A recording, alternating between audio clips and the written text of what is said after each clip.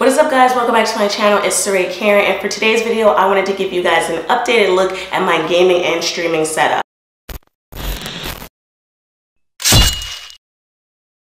I made one of these videos a while ago on my channel, probably in 2017 or 2018, and everything just about has been updated. Well, I wouldn't say everything, but a lot of things in my streaming and gaming setup have been updated, so I just wanted to give you guys a new look and see what I'm using to make videos, um, and a few things have stayed the same, so I thought I would just show you guys how I stream and how I film my videos to get out, put, to put out for you guys. So in my previous video, I did not have a gaming PC, but in this video I do. I got an NZX in the starter PC, but the starter PC Plus. The biggest difference between that and the regular starter PC is that it's an updated graphics card and then you get a hundred, I'm sorry, you get one terabyte of storage instead of 512 gigabytes of storage. So yeah, that is the biggest difference between the two. And the price point on the NZXT starter PC is $8.99 versus the one that I got, the starter PC Plus is $9.99. So that is one of the differences from my streaming setup from the past until now. Another thing that I updated is my microphone. Uh, I, I definitely think that my microphone sounds a lot clearer than it did in the past. I went with an Audio Technica AT2035. Um, this mic to me sounds much better than the newer microphone that I was using before. That microphone was just an entry-level mic, but this one, the sound is much better and I also use a different interface compared to what I used before. If you have any questions, definitely leave them down in the comments below if I'm talking too fast like I normally do. I'm just trying to get you guys all the information um, in case you wanted to get any of these items. I will also leave all of the links in the description. But yeah, I also used to use my uh, Astro A40 headphones, but now when I'm streaming or now when I'm doing any type of gameplay, I use these Audio Technica headphones. These Astro headphones, I believe, were 120 or like 140. Don't quote me. Like I said, everything will be left down in the description. But these headphones were like $50 on Amazon.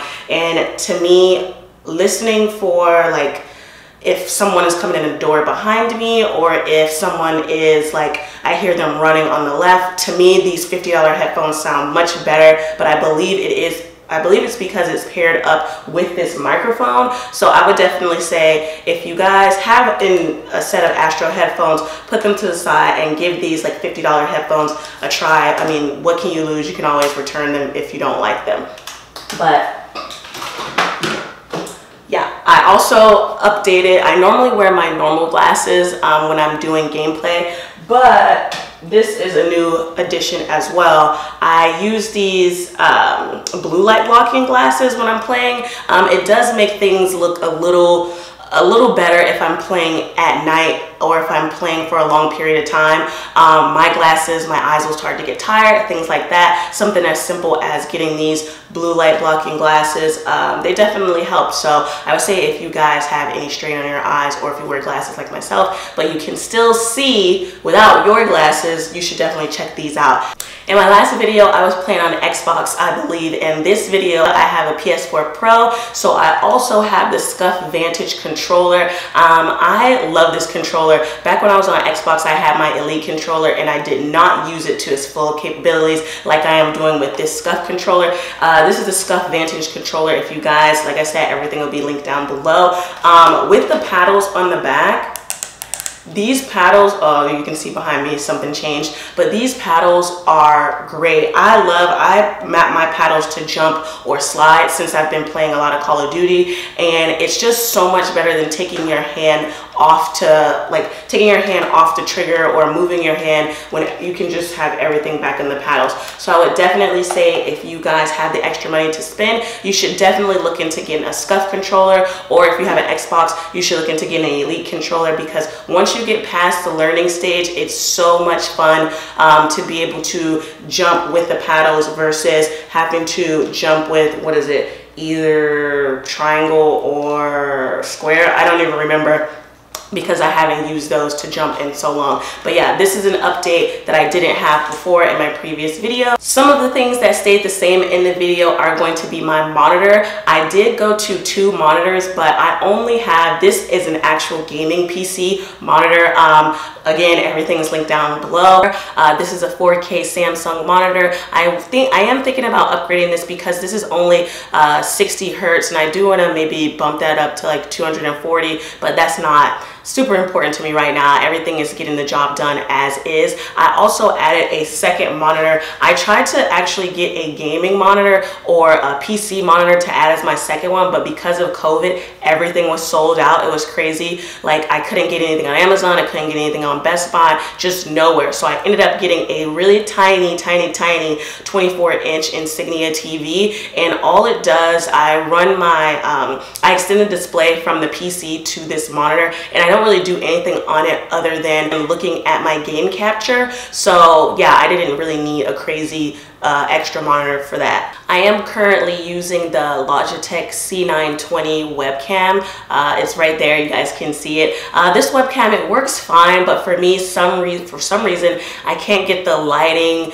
and like my, the space that I'm in for streaming or like doing gameplay. I can't get the lighting just right, but I see other people that use it and there, the quality is much better for them. So I feel like that might just be user error and I'll need to update that and like play with the settings on my own. But this is the same webcam that I used from before.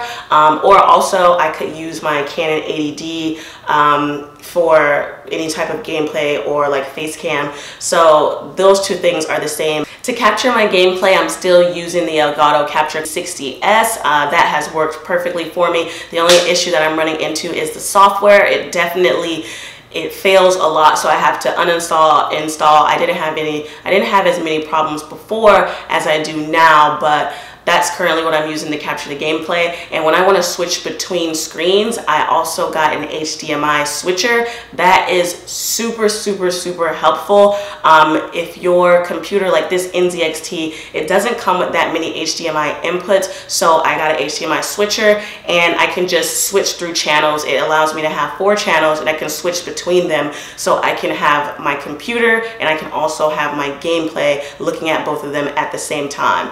Uh, if that doesn't make any sense, I'm sorry. That's the best way that I can explain it. And if you guys want me to do a setup video of how I get my console connected to my PC um, and connected to my capture card, definitely leave me a comment below. Uh, I hope this video isn't all over the place. Uh, I'm sorry if it is. I was trying to get all the information in the video for you guys really quickly. Um, I know when you start talking about all these different components, it gets kind of boring but I definitely wanted to bring you guys an updated video because I am not streaming on the same setup that I used to and I thought it would be cool for you guys to see that you do not have to break the bank like some of these huge streamers and content creators. I would say everything over the years since I started all of this in 2017, I would say all of this probably costs about, I want to say maybe $3,000, like $3,500 um, somewhere around there. But in the grand scheme of things, there are some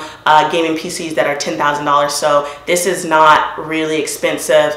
Um, it's definitely something that you know you can do if you save up your money so I just want to show you guys that this is what I'm using and I'm trying to put out content more regularly for you guys and yeah if you have any questions definitely drop a comment below please please please guys like this video it does help me a lot it lets me know that you guys like these types of videos or you don't like like these types of. A lot of you guys watch these videos and you are not subscribed, so please, it takes nothing to hit that subscribe button. Um, join the family. I love making gaming videos. I love making vlogs. Um, I might look, I might do a little bit of, you know, unboxings in the near future. I don't know, but definitely, um, follow the channel, turn those notifications on, do all the YouTube things. I really, really appreciate it, and I will see you guys in the next one.